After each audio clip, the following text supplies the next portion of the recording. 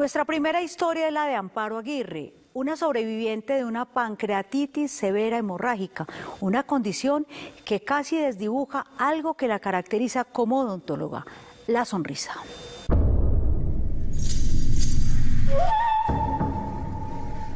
Según la mitología, las amazonas eran un pueblo de mujeres guerreras, expertas en el uso de armas y diestras a la hora de enfrentar adversidades.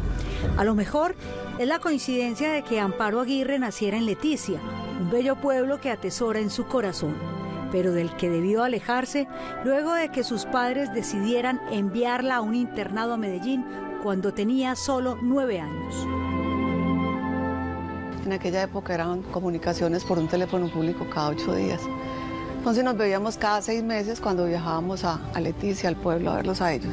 Entonces fue una época muy difícil, pero también yo en este momento me pongo a analizar y fue una época que nos sirvió, porque nos formó como un carácter un poquitico más, más fuerte,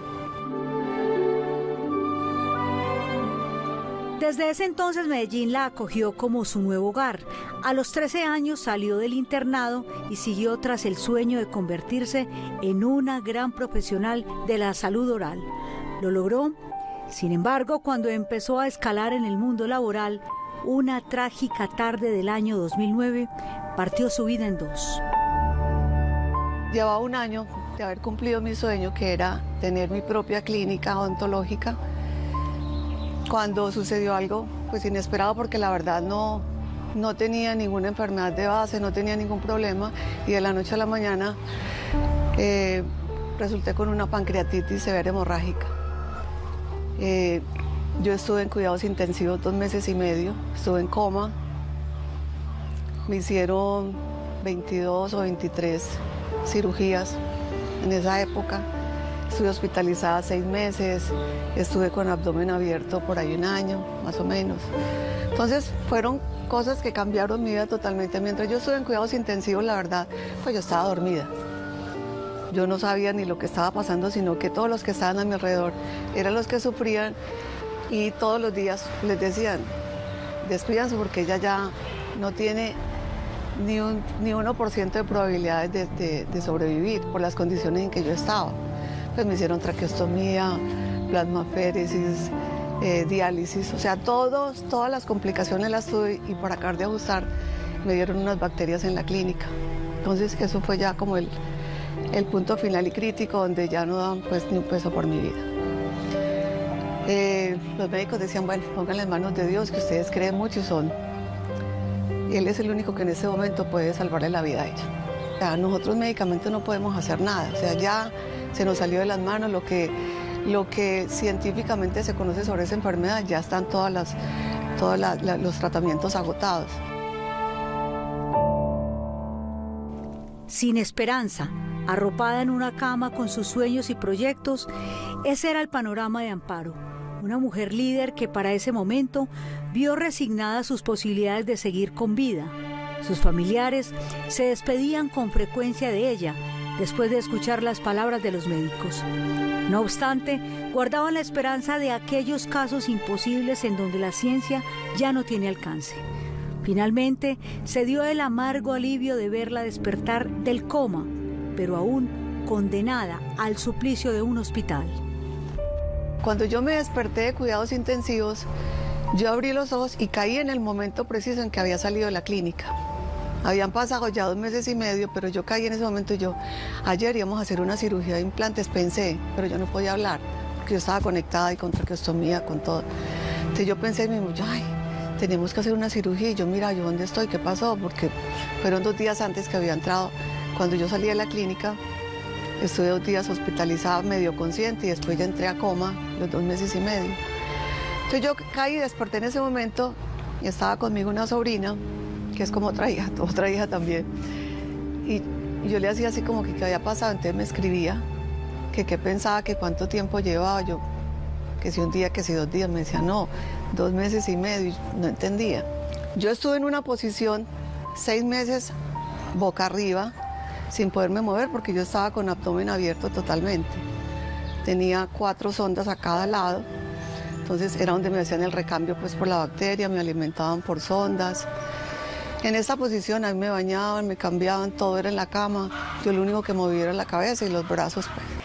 Según su propio médico internista, solo tres personas en el mundo han sufrido las complicaciones que sufrió Amparo Aguirre durante su enfermedad y ella es hasta el momento la única sobreviviente. Era una lucha constante del querer vivir porque yo nunca en esa época pensé que me iba a morir, ni nunca vi la muerte cerca si todo el mundo estuviera pensando que al otro día yo no iba a amanecer. Entonces siempre era con la ilusión de que era un día más y que al otro día iba a estar mejor y que iba a estar mejor. Me remonta ese momento y digo, no era yo, no era yo como ser humano, sino que yo pienso que era Dios en mí, dándome esa fortaleza y como que, como esas ganas de, de seguir adelante. A mí me pasó algo muy particular y es que mientras yo estuve en cuidados intensivos, yo tuve muchos sueños y los recuerdo casi todos. Y muchos sueños fueron con él y muchos sueños. Mi papá se acaba de morir hacía como dos años. Soñé con él donde me decía que me devolviera, que todavía no era el momento. Entonces yo salía corriendo y yo quería cogerlo a mi papá, pues que estaba como en un sitio muy especial de mucha luz. Entonces yo pienso que en esos momentos era cuando yo pues me estaba muriendo, pero pronto me devolvieron.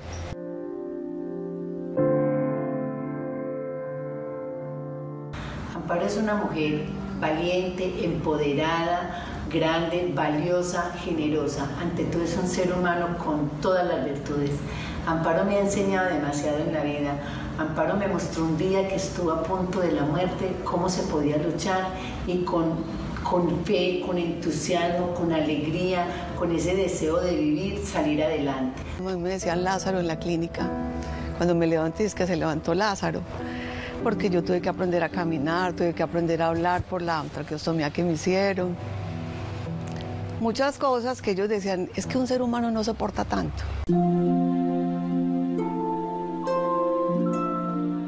Pues hay algo muy especial y es que muchos de esos médicos, mi internista, el cirujano, hoy en día son mis pacientes y convivo con ellos pues y comparto con ellos eh, como esa alegría y ese recuerdo de lo que pasó en esa época entonces ellos cada que me ven me dicen, usted es un milagro, o sea, nosotros llegamos hasta un punto amparo donde ya no tenemos nada que hacer. O sea, cuéntele al mundo entero que lo suyo es un milagro.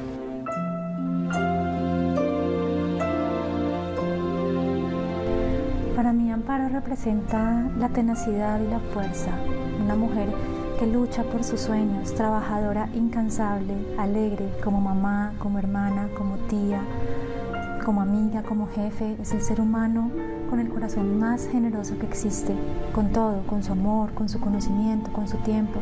Ha sido una mujer que ha atravesado experiencias muy grandes en su vida y siempre lo ha hecho con valentía, con espiritualidad, con una actitud positiva frente a la vida.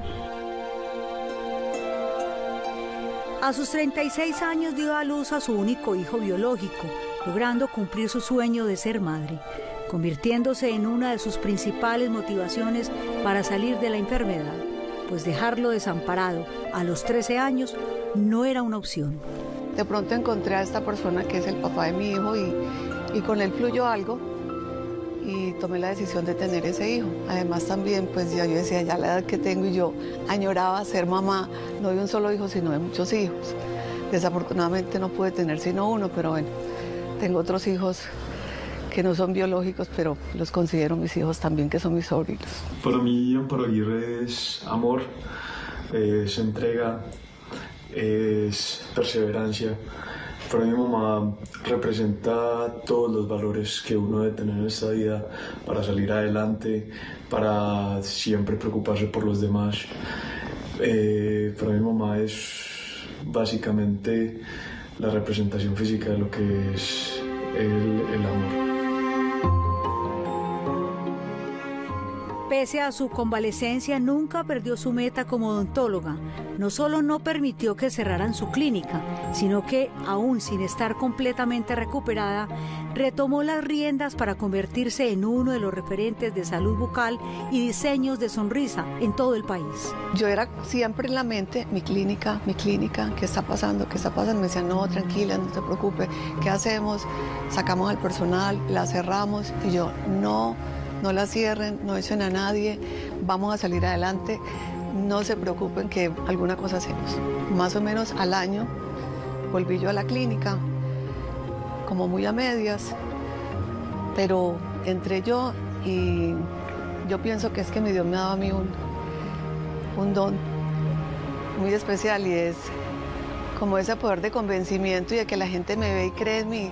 Cuando yo empecé a ir a la clínica y eso volvió otra vez y retomó toda la fuerza y, y volví a, tener la clínica que yo siempre había soñado pues como con, con todo el personal y con, con toda la gente acudiendo allá.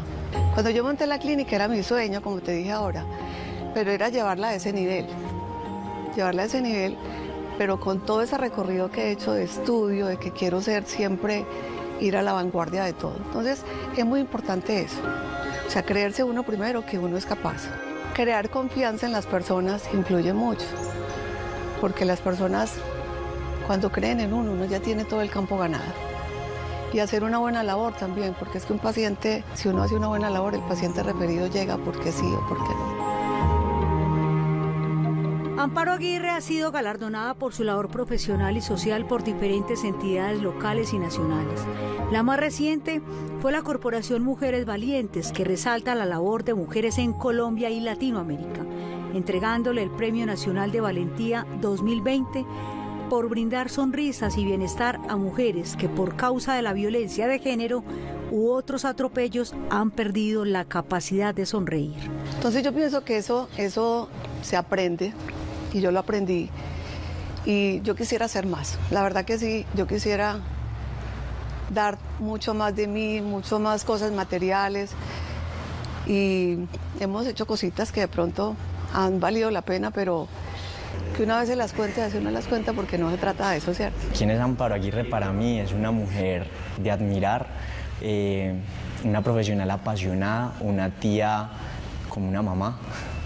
Eh, mi mamá falleció hace cinco años y ella fue la persona o es la persona que, que como que ocupó ese lugar desde el momento en el que, en el que mi mamá se fue.